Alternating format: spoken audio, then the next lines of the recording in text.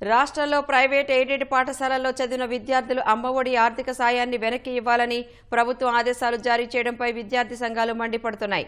మూడు రోజుల్లోగా ఈ మొత్తాన్ని ప్రైవేట్ ఎయిడెడ్ పాఠశాలలకు చెల్లించేలా ఎంఈఓలు బాధ్యతలు తీసుకోవాలని ఆదేశాలు ఇవ్వడంపై విద్యార్థి సంఘాలు మండిపడ్డాయి.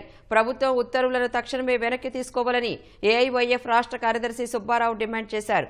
విద్యా హక్కు చట్టాన్ని ఉల్లంఘించడంతో పాటు అమ్మఒడి పేరుతో తల్లిదండ్రులను మోసం చేయడమేంటని ప్రభుత్వాన్ని ప్రశ్నించారు గారు ఈ రాష్ట్రంలో అధికారం రాకముందు SC ST BC minority EBC విద్యాలందరూ కూడా అమ్మఒడి పేరుతో సంవత్సరానికి పదిహేను వేల రూపాయలు ఇస్తామని చెప్పి కూడా ప్రకటన జరిగింది. కానీ ఇవాళ అమ్మఒడి పేరుతో ఇచ్చిన డబ్బుల్ని రాష్ట్ర ప్రభుత్వం మళ్ళా తిరిగి చెల్లించాలని చెప్పినటువంటి అన్ని మండల విద్యాశాఖ అధికారులకి కూడా వీడియో కాన్ఫరెన్స్ ద్వారా మీరు స్వచ్ఛందంగా విద్యార్థుల యొక్క తల్లిదండ్రులపై మీరు ఖచ్చితంగా డబ్బులు వసూలు చేసి ఆ డబ్బులు రాష్ట్ర ప్రభుత్వం చెల్లించాలని చెప్పి కూడా మౌలికమైన ఆదేశాలు ఇవ్వడం జరిగింది. తల్లిదండ్రుల యొక్క ఏవైతే పాఠశాలలు ఉన్నాయో వారికి ఇప్పటికే సమాచారం ఇస్తున్నారు. దీని మీద విద్యార్థి యొక్క తల్లిదండ్రులు గందరగోళ స్థితికి చెందిన విద్యార్థి మూడు సంవత్సరాల ఫీజు చెల్లించాలంటే ఉదాహరణగా ఒక నలభై వేల రూపాయలు చెల్లించాల్సి వస్తుంది. కాబట్టి ఇంత డబ్బులు ఇవాళ తల్లిదండ్రులు తిరిగి చెల్లించాలంటే కొంచెం కష్టపడి తెచ్చి ఇవ్వాలని చెప్పి ప్రభుత్వాన్ని మేము ప్రశ్నిస్తా ఉన్నాం. మీరు అయితే ఎన్నికల ముందు ఇచ్చిన వాగ్దానం ఏదైతే అమలు చేశారో ఆ వాగ్దానం మళ్ళీ తొంగలు దొక్కి విద్యార్థుల దగ్గర మళ్ళీ డబ్బులు వాపో చేస్తున్నారంటే ఖచ్చితంగా విద్యార్థులను ఇబ్బంది పెట్టడం రాష్ట్ర ప్రభుత్వం విద్యారంగాన్ని పూర్తి నిర్వహణ చేస్తా ఉంది. కాబట్టి రాష్ట్ర ప్రభుత్వం ఏదైతే అమ్మఒడి డబ్బులు తిరిగి చెల్లించాలని ఏదైతే సర్కుల్ ఇచ్చిందో బేషరతుగా